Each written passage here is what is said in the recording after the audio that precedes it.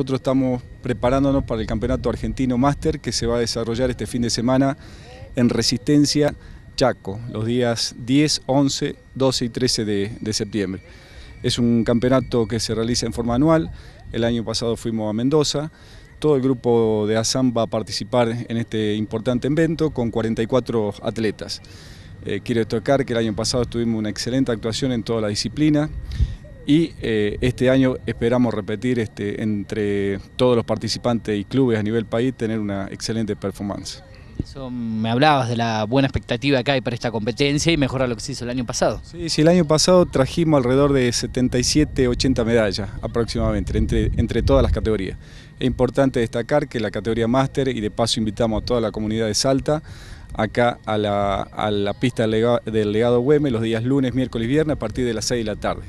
Está el profesor Daniel Correa y quien te está hablando a cargo de los entrenamientos. Los máster comienzan a partir de los 30 años, de, 30 a 34, cada 5, años están las categorías divididas, ¿no? Es decir, que tenés 30, 34 una categoría, 35, 39 la otra, 40, 44, hasta los 95 años. Es decir, que es impresionante la cantidad de gente que va a asistir este, a nivel país. ¿De qué manera se pueden contactar con usted?